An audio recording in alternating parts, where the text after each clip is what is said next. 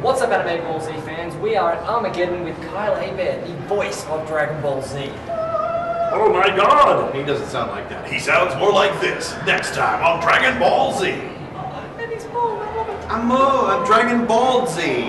Get it? See what I did there? Ball this way. Now, we, we do a radio show, and you started out on radio. Like, how did you get into all of that? I did, yeah, yeah. Two things I wanted to do since I was a kid. I wanted to be a disc jockey and I wanted to be a cartoon voice actor. So uh, through college, I got a degree in radio, TV, film, got a Bachelor of Arts degree, got an internship at a radio network in Dallas, Texas. Ended up doing everything from country to heavy metal to kids radio. While working for the kids radio format, actually it's, it's still around, called Radio Disney. Um, this show on Cartoon Network in the United States was very, very popular. And it ended up being so popular that, that Radio Disney took notice of it and says, hmm, we could give away prizes from this show on Toonami, on Cartoon Network, and Dragon Ball Z.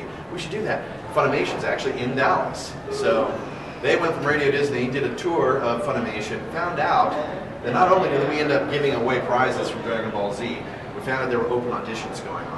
So I got to go in finally and try out for a show I was actually a fan of. Fan of DBZ since 1995. Used to go around the house imitating the narrator. Lo and behold, ended up getting the narrator and Teen Gohan, amongst other roles like Ox King, Pikkon, Weskai. Uh, very obscure little one called Piroshki. He's like a, a bald, big guy like me, and, and he was like a wrestler dude in the in the, in the Cell games. Oh, yeah, I remember. Ah, Piroshki, yes, he talks Russian. Awesome. Uh, oh, we got, we got a guest over here. I know. Look at him. He's making. Just looking for a bathroom. Good luck. It's uh, three miles down that way. Thank you. Now, um, when I first saw Dragon Ball Z, I, I actually got into it around the Teen Gohan, the adult Teen Gohan. Mhm. The um, going to high school. Yes. That's when I took over the role. My, actually, my favorite uh, arc of Dragon Ball Z is the Great Saiyaman arc. Oh, that makes me happy to hear. Because a lot of fans are like, I didn't like it, it was stupid. It's like, no, it was like, not, only, not just saying that from an actor standpoint, like, it's all about me. But it was a chance to do something different. Like, you didn't think Gohan would be that goofy. And that's part of the, the charm of the character. It's like, he's not just strong. He's, you know, and the girls think he's hot and everything. And uh, he has this real, charismatic, nerdy, innocent quality that carried over from his childhood into his adult life. And uh, it was fun to just get to play with that and just be the goofy, fake superhero that he was trying to be. Well, the reason I really liked it was it reminded me a lot of original Dragon Ball. Because original Dragon Ball was not necessarily all about the fights and the lasers, it was more um, about a journey. And obviously, this is Gohan finding out what it's like being a teenager. Yeah, going through all that, the struggles and whatnot, and yeah, it harkens back to the old comedy stylings of Dragon Ball. Yeah. Um, also, you've also been in um, Tengen Toppa Gurren Lagann. Yes. Series. Thank you. Awesome series, Pierce the Heavens.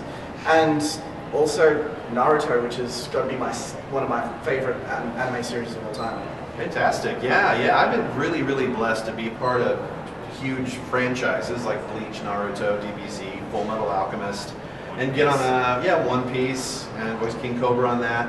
Um, yeah, to get a, to, to be a part of a fan favorite show like Gurren Lagann and and um, and everything is just like wow, pinch me. This is this is like a dream.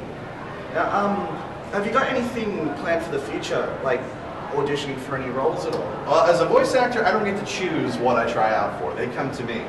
And you know, once That's you're really good. Well, it is, and then sometimes again you'll be like, oh man, I really wanted to be on that. You know, like there's a Tron animated miniseries coming out, and I didn't get to try out for that. But I'm a huge Tron nut, and they mostly gave the roles to celebrities, so I didn't really. Jeff Bridges. Well, yeah, and Bruce Boxleitner who was supposed to be here this weekend but canceled. Um, he was reprising his role as Tron and everything, and it's like, man, just to be a bit part.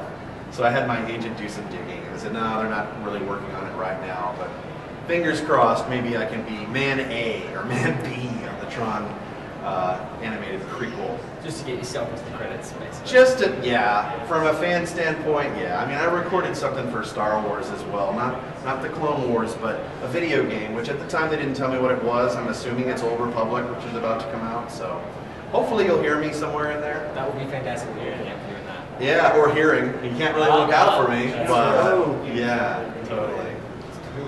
Who is it? Um, one thing that I really loved is one of my favorite series of all time is Buso Renkin, and you actually had a role in that. Yeah, Hiwatari. Yeah. And um, why don't you tell us a bit about that style of anime? Because it's not that big of a, it wasn't that big of a hit over here because it wasn't syndicated. Right. But it's got a really big cult following in Yeah. Australia. Yeah, that was. Uh, it didn't make a much of a splash in the United States as well, but it was intriguing to me because you know after Full Metal Alchemist, the whole idea of alchemy, that concept, I didn't know that it was going to catch on into any other anime series, and this was the only other one that I knew of that actually tackled that subject, and um, that was a character that I was pretty much cast on without being uh, auditioned. That's always the best kind of call to get as an actor when they just trust you and know that you could deliver on a part, and they just call you and say, "Hey, can you come in on this time? We got a role for you." Yeah, that's basically how I landed that. What would you say is your absolute favorite role that you've ever done? That's really hard to say because Dragon Ball Z will always be special in my heart. That's the one that started my career. So Gohan, the narrator, always are going to be like, it's hard to top. But in recent years, Kamina, by far. You know, that guy is so epic, so manly, and that show speaks to so many people. And it's just such a great positive role model, you know, role model. It's like a motivational character that is just it speaks beyond the genre of anime. It just is really, really cool, and I'm really honored to have been a part of it. Um, what was the most challenging role you've ever taken? The challenging, I haven't really struggled with the acting side of it so much as maybe the physical side of it.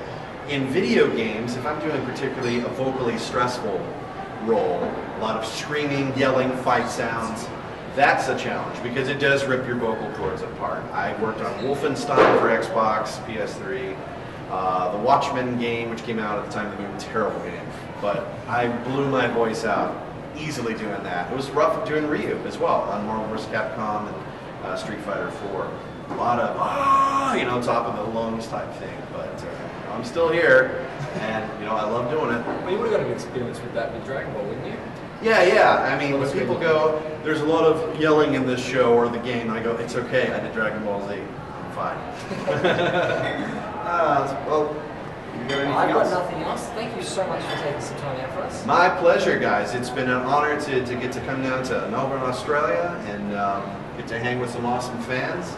And uh, thank you very much. Hope to see you again That's. All right. Take care. Anime Ball Z. Catch you on the flip side.